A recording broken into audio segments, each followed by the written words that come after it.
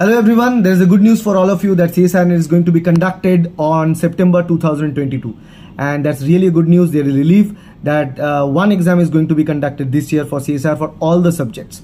And make sure that uh, that CSIR NET exam is there. And that's actually declared by the CSIR itself in the tweet.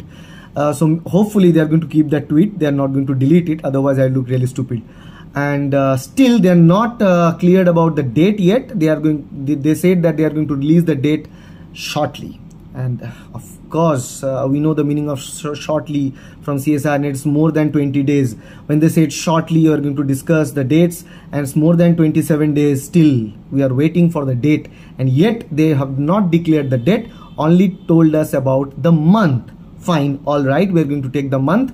Uh, but still we need to wait for some times so all the very best for the preparation and Shomu's Biology is offering CSIRNet online coaching, CSIRNet uh, study materials and those who want to practice CSIRNet for a revision, a quick revision and also prepare for three months crash course then there is a crash course and revision course available in our application. You can check the links are there in the description. You can click all these links and the courses are right now 50% off for the upcoming 10 days. So you can try and see if it works, you can purchase the course and of course you can join us for the upcoming CSIR net preparation and registration is going on. So all the very best and wish you the best for the preparation. Preparation should not stop should continue the preparation. All the very best. Bye